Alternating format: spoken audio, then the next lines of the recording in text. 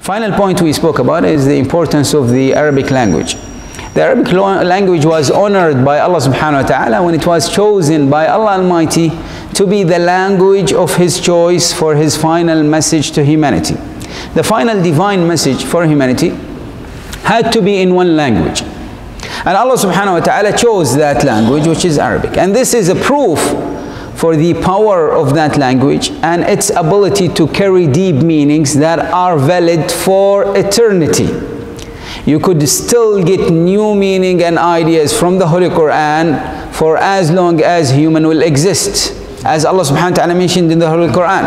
For everything there is a specific time when it will be revealed to people. And we are continuing to discover new information from the Holy Quran even in our days.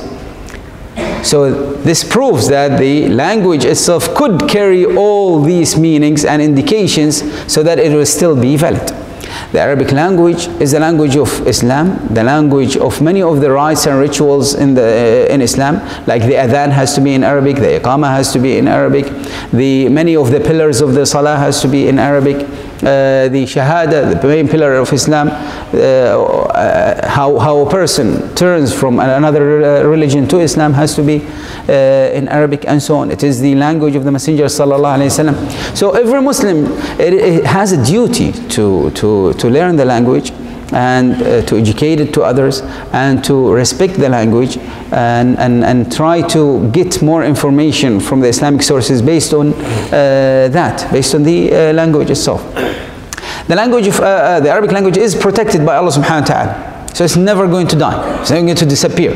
Languages are disappearing on and on throughout the world. And they are changing and changing and evolving. But the Arabic language is not. It's still present. It's the only language on earth till now where the speakers of that language can still understand what was written more than thousand years ago. Most languages in the world, they could never understand what was written just 200 years ago. The same language.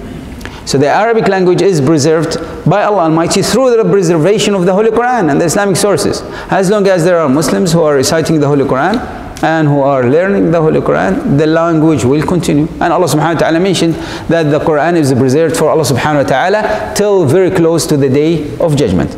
So it is our duty to learn Arabic and to educate it to others and, and try that. There is no harm in learning other languages, no harm in respecting your own language and learning it and mastering it and master as many languages as you want, but Arabic language should, should have a priority in your life at least to try to learn the basics of it uh, or the, even the spoken language or whatever is required for you a religion.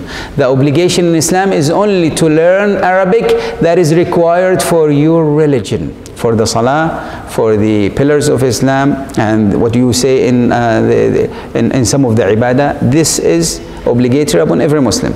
But the rest is optional. Allah subhanahu wa ta'ala knows best. We pray to Allah subhanahu wa ta'ala to guide us to His divine truth. We pray to Allah subhanahu wa ta'ala to bless us in this month of Sha'ban. And we pray to Allah subhanahu wa ta'ala to make us reach Ramadan and facilitate for us the fasting and the qiyam and the recitation of the Holy Quran and all good deeds. Ameen. Wa sallallahu ala Sayyidina Muhammad wa ala alihi wa sahbihi ajma'in.